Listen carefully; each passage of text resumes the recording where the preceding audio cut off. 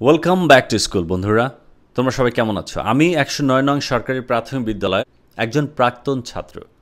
School খুলে যাওয়াতে তোমাদের যেমন আনন্দ হচ্ছে আমার বেশ আনন্দ হচ্ছে।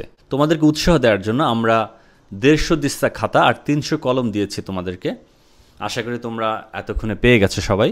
এর বিষয়ে সার্বিক সহায়তা করেছেন আমার ভাই মাসুদ সর্দার, সুমন তালুকদার, আমার ভাতিজা তানভীর এবং আর যারা কাজ করেছে সকলকে আন্তরিক ধন্যবাদ আমি জানাই। সো পরবর্তী যে স্টেপ আমাদের আছে, সেটা হলো আমরা ইংলিশ ওয়ার্ড কম্পিটিশন নামে একটা কুইজ কম্পিটিশনের আয়োজন করেছি। এটা কন্টিনিউয়াসলি আমরা করে যাব। সর্বোচ্চ বছর শেষে দেড় হাজার ওয়ার্ড থাকবে। এই দেড় হাজার ওয়ার্ডের মধ্যে আমরা একটা কুইজ নিব। সেখান থেকে যারা ফার্স্ট সেকেন্ড থার্ড হবে এবং যারা অংশগ্রহণ করবে, প্রত্যেককেই আমরা পুরস্কার দেব। যে প্রথম হবে, তার জন্য থাকবে পাঁচ থেকে দশ হাজার টাকার পুরস্কার। তবে আমরা এখনও কনফার্ম না, এটা পাঁচ হাজারই হবে না দশ হাজার হবে, তবে এটার মধ্যে হবে ফার্স্ট প্রথম পুরস্কার, তারপর সেকেন্ড তারপর থার্ড এভাবে ক্রমান্বয়ে আমরা প্রত্যেককে পুরস্কৃত করব। উদ্দেশ্য হলো তোমরা ভালো ইংরেজি শেখো, তুমি যদি ভালো ইংরেজিতে কমিউনিকেশন করতে পারো, তাহলে তুমি এগিয়ে যাবে।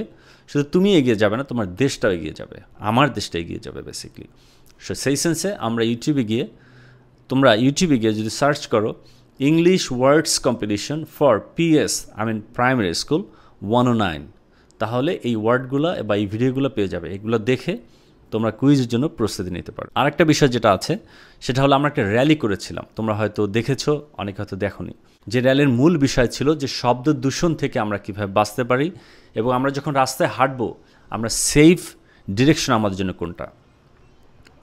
অ্যান্সার হলো, হাতের ডানে আমাদেরকে সবসময় হাঁটতে হবে।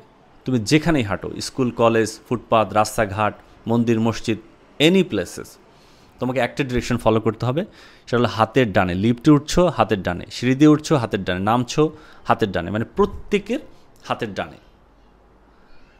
শেষে একটা কবিতা বলতে চাই, করোনার সময় একটা কবিতা ছিল খুব সুন্দর একটা কবিতা ছিল, তোমরা হয়তো শুনোনি, এ যাত্রায় বেঁচে গেলে ভীষণভাবে বাঁচব, সবাইকে জড়িয়ে ধরে অনেক করে কাঁদব, আমরা এগিয়ে যাব সকলকে সাথে নিয়ে হিংসা, বিভেদ, ভেদাভেদ ভুলে গিয়ে আমরা সুন্দরভাবে বাঁচব।